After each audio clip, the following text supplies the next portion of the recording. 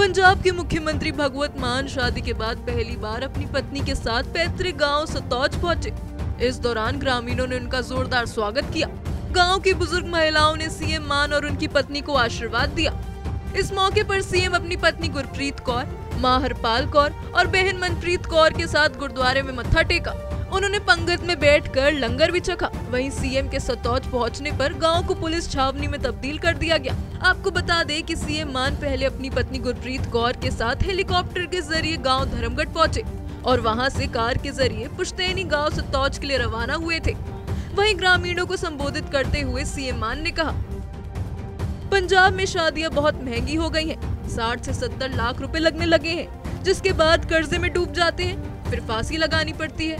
साथ ही कहा कि गाँव में मोहल्ला क्लिनिक खोला जाएगा, जिससे लोगों को उपचार करवाने के लिए दूर शहर जाने की ज़रूरत नहीं पड़ेगी। क्लिनिक में सौ प्रकार के टेस्ट फ्री होंगे। गाँव की उपजाऊ ज़मीन के लिए नहरी पानी की व्यवस्था भी की जाएगी, ताकि किसान फ़सल को पानी दे सके। सीएम मान ने इस दौरान कॉमनवेल्थ गेम्स में ब्रॉन्ज मेडल जीतने वाली पंजाब की बेटी हरजिंदर कौर को बधाई भी दी। साथ ही कहा कि पंजाब की दूसरी बेटियाँ भी ऐसे ही कामयाबी हासिल करेंगी।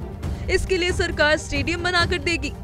खेल से जुड़ी दूसरी सुविधाएँ उपलब्ध कराएगी इस मौके पर उन्होंने इलाके के विकास के लिए भी कई घोषणाएँ की।